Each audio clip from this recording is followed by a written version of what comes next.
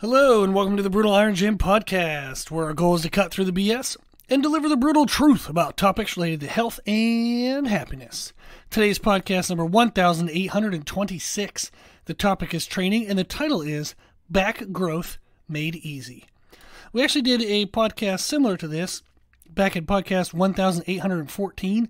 It was a training podcast titled Hamstring Growth Made Easy. I got good feedback on that. Somebody asked for another uh, area of focus and they asked for back. So I was like, hell yeah, let's do it.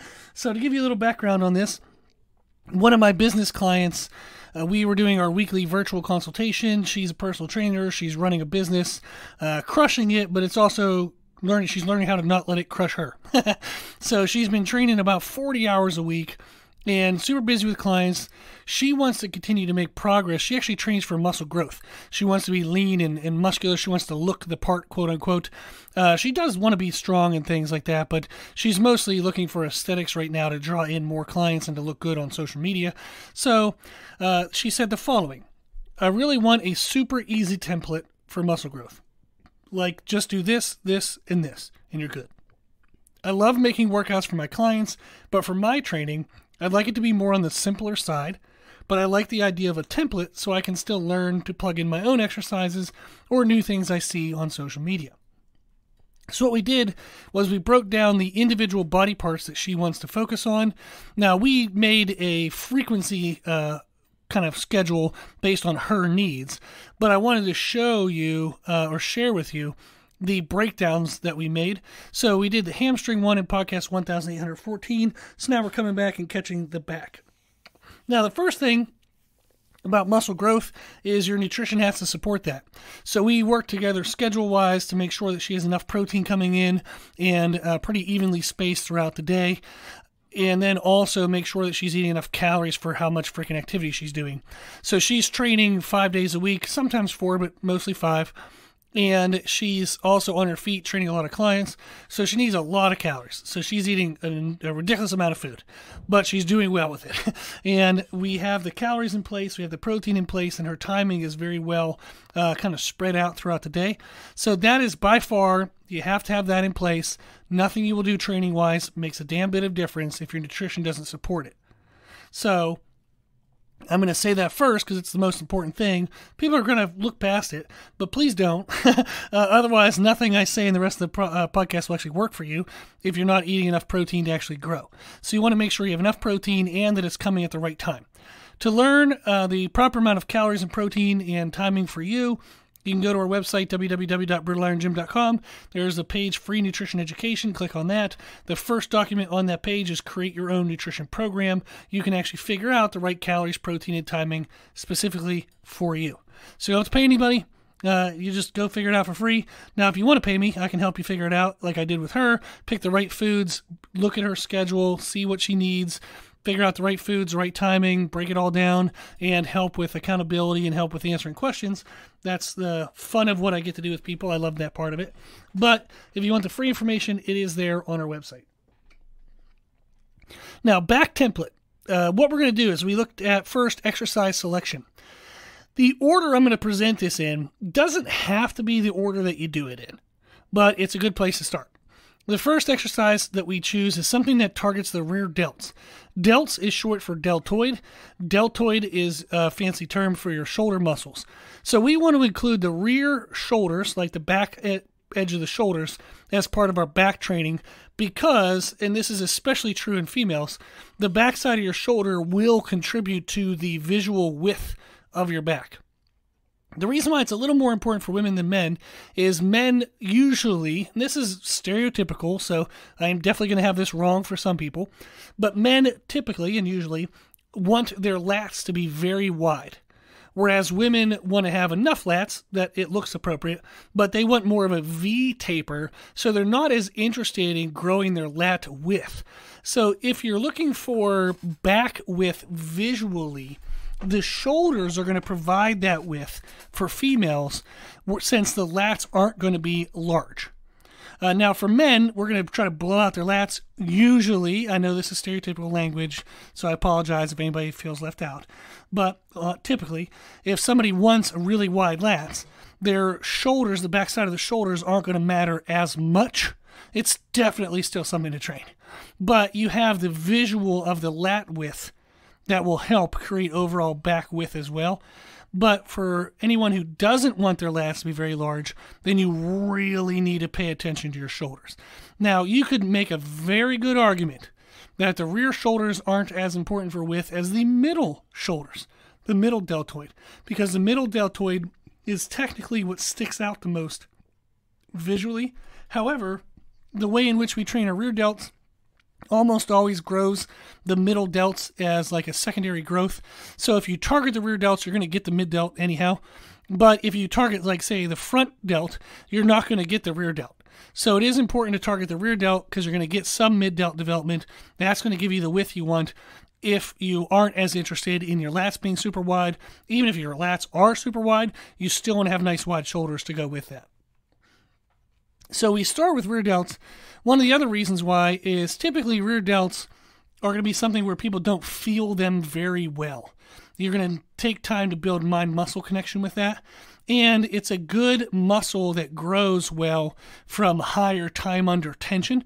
If you go too heavy, too short of time under tension, your bigger, stronger muscles tend to take over uh, the traps or the lats.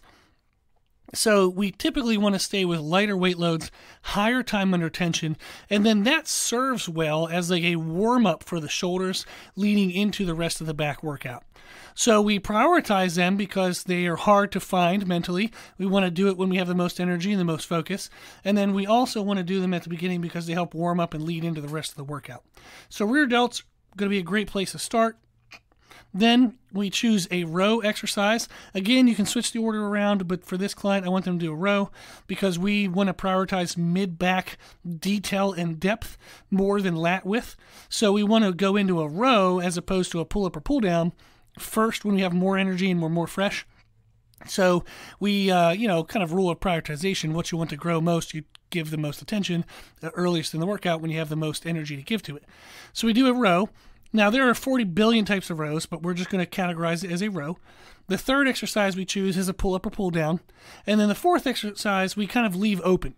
I'd write anything extra. And this is where she can include anything she sees on social media, any new exercise she wants to try to practice to help her client with. Uh, so if you want bigger traps, you would add shrugs. If you want more lat width, you just add more lat isolative work. If you want more thickness, you add more mid back work. So you can kind of personalize that final exercise depending on what you want to grow the most, depending on which season of life you're in or what you feel like focusing on for that uh, time period. So it's rear delts, row, pull up or pull down and then anything extra. Now, the considerations we make when deciding exactly what exercises to do. The first consideration I listed for her was to make sure that she changes and kind of mixes up different positions. This could be different grips, different body angle, different pulling angle, etc. You know, so if we're looking at rows, we can do a machine row, we can do a cable row, we can do overhand, we can do neutral grip, uh, we can pull from directly in front of us, we can sit in front of a cable tower and pull from slightly overhead, creating a little bit of a different angle. Uh, there's a lot of positional changes you can make. Even dumbbells. You could do a one arm dumbbell row uh, with a slight uh, elbow flare and overhand position. You can do it with a typical kind of like 45 degree upper arm angle and, and that angled grip that people typically do. You could do it strict neutral if you wanted. Uh, you could do them, uh, you know, seal rows. You can do both arms together. You can do that flat. You can do it slightly inclined. Uh, there's a million variations, even just free weight variations. You can do barbell bent over row versus a dumbbell bent over row versus a T-bar row. Those are all a little bit different as well. The idea is that when we change exercises, we make sure we get a variety of positions and grips uh, included. Now, you might say, well, how often should I change exercises? Uh, that's a great question. We have podcast 1468, which is titled How Often Should I Change Exercises? It's such a great question. Made such a great title. but that's podcast 1468 Q&A how often should I change exercises? I like changing exercises every four weeks. Uh, what I've found, and this is a little bit of like um, like bro science from just being training people since I was you know 18 years old for money. I am about to turn 40, so I've been doing this for over 20 years, paid to do this. And then also, if you look at like the history of other people, a lot of conversations, what you find is the longer somebody stays with the program, especially if you're trying to make uh, linear progression per week, you're trying to create some kind of challenge, you know, like maybe not every single week, but you want some kind of progressive stress load to what you're doing to push the body to continue to develop. So every week or every other week, you try to add five pounds. Every week or every other week, you try to add an extra rep. You try to add something that pushes the body to continue to develop. That's how a program kind of pushes adaptation of the body. Well, the longer you stay with something, the harder and harder it is to add five pounds, the harder and harder it is to add one rep typically what happens is longer somebody stays with an exercise, the more they have to forego perfect technique and use a little bit of body English, a little bit of momentum to try to get those little additions. And then you start running into joint injuries, muscle tightnesses, and then actual injuries. I like changing over every four weeks because you really avoid the majority of that. Uh, with all the clients I train over all the years, I have a very, very low, knock on wood, uh, very, very, very low rate of anyone feeling injured or hurt. And that's going to be because we change everything all the time. And every time we change something, I'm pinpointing to different therapies of anything that might be coming up. so it's, it's, it's a way for us to stay ahead of any kind of stresses, whether that's connective tissue or muscle tissue. So when we pick a new exercise every four weeks, different body positions. She also wants to have considerations of bilateral versus unilateral. You know, if you've been doing a lot of uh, bilateral, both arms at one time rows, then maybe the third or fourth program switch over to a unilateral, like one arm at a time. Same thing with uh, pull downs. Maybe you've been doing, you know, pull ups and pull downs multiple times over, then switch to a single arm pull down. That's a good variation to throw it in there. So we want to have awareness to mixing in bilateral and unilateral movements. Our rep ranges we want to switch. I gave her two categories, and you can use this as well. We have high time under tension, which is time under tension is T U T, so it's referred to as TUT. so high TUT, high time under tension, of a set lasting 30 to 60 seconds. So however many reps you can do, you're just moving at a nice controlled pace. However many reps happens to happen between 30 to 60 seconds, that's a high time under tension. We have a low time under tension of 15 to 30 seconds. I told her she could even dip down to 10 because I want her to get a little bit heavy weight load on her tissues. Depending on how strong someone is, the stronger a person is relative to their body, uh, size, they want to stay away from super low tut. If your goal if your goal is growth, you're just going to run into more connective tissue stresses. So if somebody's a little bit not on the stronger side yet, you can get you can dip down into really low time under tensions as a great way to kind of get that damage and stress that you're maybe not getting with higher time retention because it requires such light weight. But in general, we have high time under tension is 30 to 60 seconds, low time under tension is 15 to 30 seconds. Then I want her to switch back and forth. You know, if you always do your rows at high time under tension, throw in a low time under tension exercise every now and then, and vice versa. Then the fourth consideration we have is to add an intensity technique. So on the fourth week, before she switches exercises out, I want her to add an intensity technique so she can push overload, but she can remain safe. And that's going to be rest pause, drop sets, or compounding superset, which is where you just do two exercises for the back, back to back. So that is our basic template. She wants to choose a rear delt exercise, a row, a pull up or pull down, and then anything else that she wants to em- emphasize. So, four exercises each time she trains her back. Then, every four weeks, she changes up the positions per exercise. She might change from a bilateral to a unilateral. She might switch from high time under tension to low time under tension, or vice versa. And then on the fourth week, she's going to add a rest pause or a drop set or a compounding superset to push that overload adaptation, but stay safe. That's it. That's simple. It, it literally is that simple uh, what makes you grow or not grow beyond this stuff is just whether your nutrition is correct and whether your technique and intensity are correct. But you don't need fancy anything else. This is literally all the stuff you need to build an amazing back. You just have to make sure your nutrition is on point, your exercise is performed correctly, and you're picking a weight load that stresses you, but it stays within the right muscles. It's not so damn heavy that you're using every other muscle uh, to try to help. Okay, um, just a real quick, I'll give you a couple examples of some workouts. Uh, one workout is a dumbbell seated bent over lateral raise, and that's for the rear delts, and we would do that high time under tension. Then we would go right into a dumbbell one arm row for very low time under tension, so that'd be really heavy. Then we switch over to pull ups, whether you can do them assisted or weighted or just body weight, eh, but you would aim for a low time under tension. And then we'd finish with cable row with a wide overhand grip. And that's high time under tension. So I gave that to a client recently. They loved that back workout. So again, it was dumbbell seated bent over lateral raises, high time under tension, dumbbell one arm row for low time under tension, pull ups for low time under tension, and then cable seated row with a wide overhand grip for high time under tension. Great. Then a recent workout that I just did was cable straight arm lat pull downs into face pulls and that was my first exercise, uh, kind of doing one right into the other. Then I went to cable lat pull downs with a wide overhand grip. Then I went to cable seated rows with a narrow grip. And then I finished with some dumbbell shrug drop sets. And that's a great overall back developer. So that's how you put it together. Something for the rear delts, some type of row, some type of pull up or pull down, and then add a fourth thing, whatever you want to focus on. Okay.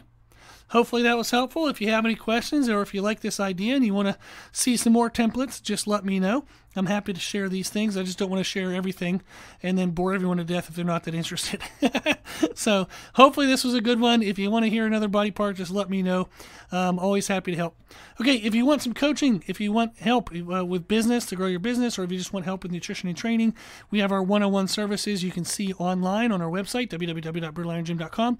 We're also offering right now, I'm offering a free 15-minute virtual consultation if you want to work with me, uh, because what I found is I was getting a lot of requests, and it's very blessed, very grateful.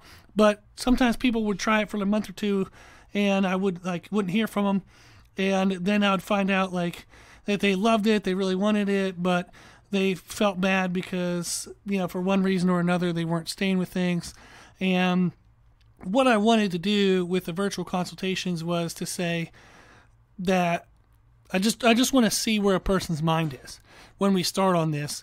Is this something that they're doing on a whim, or is this something they actually want to kind of really make a change in their life? Do they really want someone who's going to give the best of themselves to them, which is what I do, and I want to make sure I'm getting that return. so I feel like every time I explain this, it makes me feel like a total jerk. I don't expect people to make this their number one priority in life, not in any way whatsoever.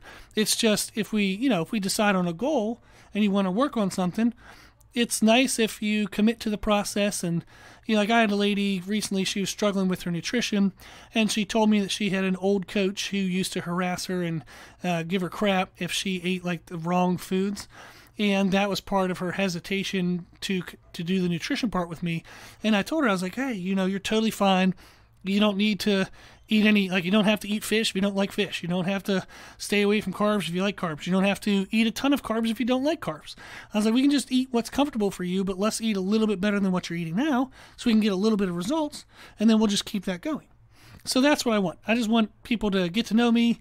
I want to get to know you so that way we can kind of see where everybody's starting and there's no uh, pre pre thoughts as to how this will go. I want to be able to explain it and see you face to face. So if you're interested in that, if you want to work with me, we do that free 15 minute consultation.